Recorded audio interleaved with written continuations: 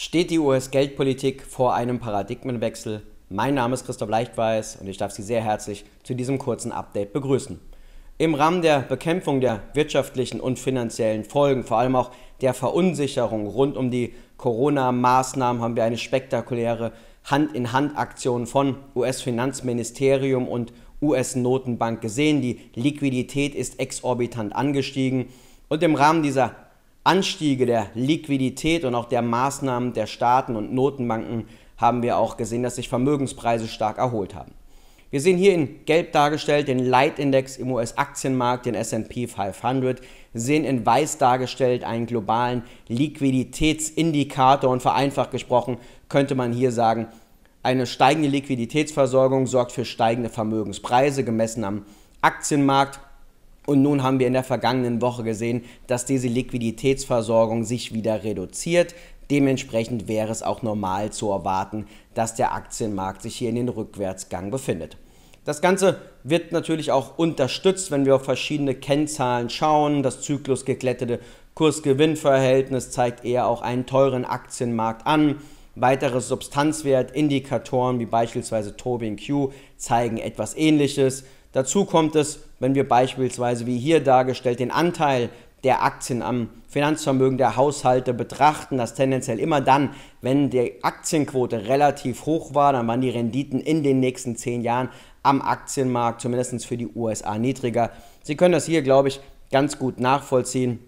Auch in der Vergangenheit hier mal knapp 30% Aktien. Die Renditen in der Folgezeit waren eher niedrig. Wir sehen das im Rahmen der Tech- und Internet-Bubble, auch hoher Anteil der Aktien, die Renditen in den nächsten zehn Jahren entsprechend niedrig. Und nun sehen wir 37 Prozent Aktienanteil. Auch das würde, wenn man dieser Analogie folgen möchte, für niedrige, vielleicht sogar negative Renditen in den nächsten zehn Jahren für den US-Aktienmarkt sprechen. Also dieses Thema natürlich mit einer großen Relevanz, weil die US-Aktien in den globalen Indizes im MSCI World und anderen einen sehr hohen Anteil ausmachen. Das liegt an der marktkapitalisierungsgewichteten Berechnungslogik. Von daher macht es natürlich schon Sinn zu hinterfragen, wo genau stehen wir aktuell und was können Anleger nun aus dieser Situation gewinnen.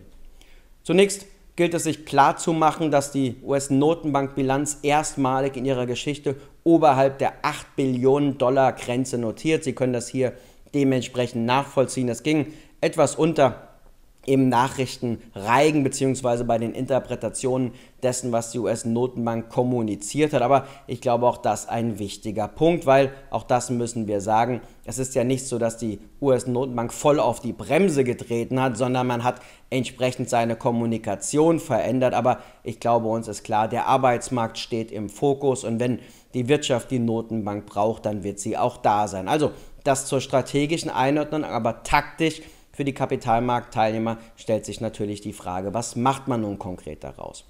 Wir sehen vor allem auch, dass das Auswirkungen hatte natürlich auf den Dollar, der ist entsprechend angestiegen, beispielsweise gegenüber dem Euro und auch gegen anderen Währungen. Aber interessant natürlich hier die Renditen. Sie sehen hier die Renditen für die 10-jährigen Staatsanleihen 1,45%, für die 2-jährigen hier unten die 0,25%. Und wenn wir nun die Differenz betrachten zwischen den 10- und den 2-Jährigen, dann sehen wir, dass diese sich verringert. Warum?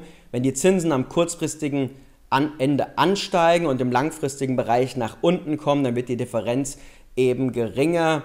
Und wir müssen uns klar machen, dass das natürlich auch impliziert, dass man Zinssteigerungen erwartet. Auch das passt natürlich etwas zur Kommunikation der Notenbank und auch weiteren Äußerungen, die man jüngst gehört hat, aber dass wir im langfristigen Bereich sehen, dass die Renditen zurückkommen. Warum?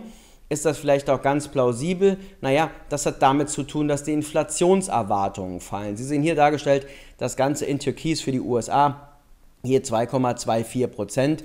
Und da stellt sich natürlich bei vielen Anlegern die Frage, warum fallen die Inflationserwartungen? Wir haben doch jüngst spektakuläre Inflationswerte gesehen, 5% für die USA und das erscheint unlogisch. Aber das Risiko, was, glaube ich, die Marktteilnehmer gesehen haben, war, dass die US-Notenbank in ihrem Fokus auf die Wirtschaft, auf den Arbeitsmarkt unterschätzt, dass die Inflation ansteigen kann, dass das Ganze aus dem Ruder gerät, dass man dann irgendwann eben zu stark bremsen muss, dass die Inflation überschießt. Und nur mit dem Statement der Notbank in der vergangenen Woche hat man gezeigt, dass man die Inflation auch im Blick hat, dass man gegebenenfalls von dieser All-It-Takes-Mentalität auch abweichen kann und dementsprechend weniger Stimulus heißt weniger Inflationsgefahr, weniger Inflationsgefahr heißt fallende Inflationserwartungen und dementsprechend sind die Marktreaktionen, was hier die Renditen angeht, durchaus plausibel. Also von daher vielleicht ein Aspekt zu sagen, die Quoten im Rahmen der Vermögensstrukturierung